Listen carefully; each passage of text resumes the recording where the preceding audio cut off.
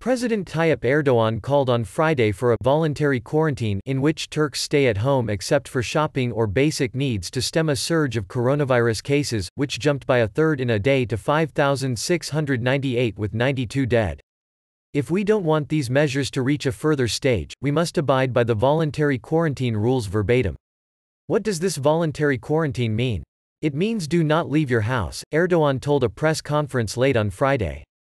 The rate of infections in Turkey has outstripped most other countries in the last two weeks with 2,069 more cases in the last 24 hours, the country's health minister said earlier on Friday in calling for wider measures to contain the outbreak. Erdogan also announced an end to all international flights, and said pandemic councils will be formed in Turkey's 30 biggest cities to take additional precautions if necessary. By taking care of social distancing at home and at work, by not using public transportation unless necessary, by not leaving the house apart from fundamental shopping needs, by taking care of our cleanliness, it is mandatory that we increase the effectiveness of these measures, he added.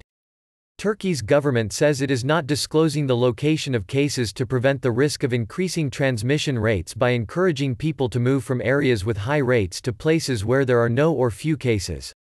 Ramping up measures against the outbreak, Turkey also limited intercity bus travel and banned walks and fishing along the seashore and beaches, as well as jogging in forests and parks on weekends. Local governors could decide to extend the decision to weekdays, Interior Minister Süleyman Soylu told an interview on NTV News Channel. One town and four villages in Turkey's Black Sea province of Rize have been quarantined over the coronavirus outbreak, the local mayor said on Friday, marking the country's first case of a lockdown.